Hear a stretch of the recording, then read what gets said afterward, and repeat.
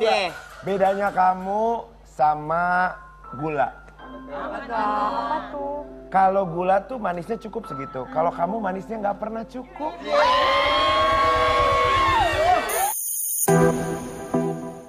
Dari tenda biru ke DJ nih, move on dari Desi Ratnasari. Nasar kini kepincut kecantikan Natalie Holzer. Hai sahabat insert artis tercinta, sebelum kalian menonton video ini hingga habis, jangan lupa like, komen dan juga subscribe, supaya tak ketinggalan info-info menarik dari channel ini ya. Selamat menonton, cintanya pada Desi Ratnasari bertepuk sebelah tangan. Nasar dikabarkan move on, lalu dekati Natalie Holzer. Seperti yang diketahui, Natalie Holzer telah resmi bercerai dengan Sule sejak tanggal 10 Agustus tahun 2022 lalu. Baru beberapa hari menyandang status janda, Natalie Holzer ramai digosipkan dengan sejumlah pria, salah satunya adalah pedangdut King Nasar.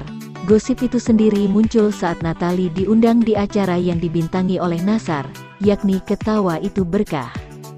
Dalam tayangan itu, terlihat Natalie duluan yang memuji kegantengan pelantun lagu Mati Lampu itu. Ih sumpah Nasar ganteng banget sekarang loh, kata Natalie Holzer, Jumat tanggal 26 Agustus tahun 2022.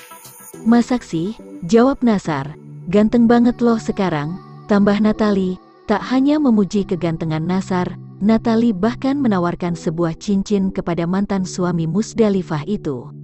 Ini aku ada cincin kebetulan dari mantan aku, aku kasih buat kamu boleh, ucap Natali. Aku gak suka barang bekas, karena cintaku tak pernah bekas, jawab Nasar sok jual mahal.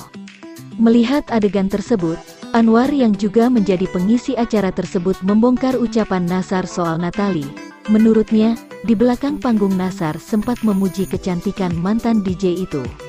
Tadi sebelum mulai aku sama King di situ kan, Kak Natali di belakang, dia bilang gini, Kak Natali kalau dilihat-lihat cantik juga ya, ujar Anwar Sanjaya.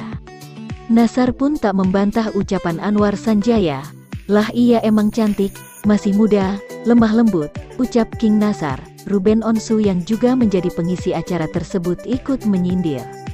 Ceritanya dari tenda biru ke DJ nih, tutur Ruben Onsu. Seperti yang diketahui, Sebelumnya Nasar sempat mencoba PDKT dengan Desi Ratnasari, namun, cinta Nasar ditolak pelantun lagu Tenda Biru itu. Desi Ratnasari sendiri menolak Nasar lantaran perbedaan usia, di mana Nasar lebih muda darinya. Sontak, interaksi Nasar dengan Natali pun membuat netizen heboh. Nasar kode-kode, tulis seorang netizen, move on dari Teh Desi nih ceritanya, ujar netizen lain, Cocok sih sama Nasar, ucap netizen yang lainnya. Wah gimana nih pendapat sahabat insert artis semua? Tinggalkan pesan kalian di kolom komentar ya. Terima kasih sudah menonton, bye-bye.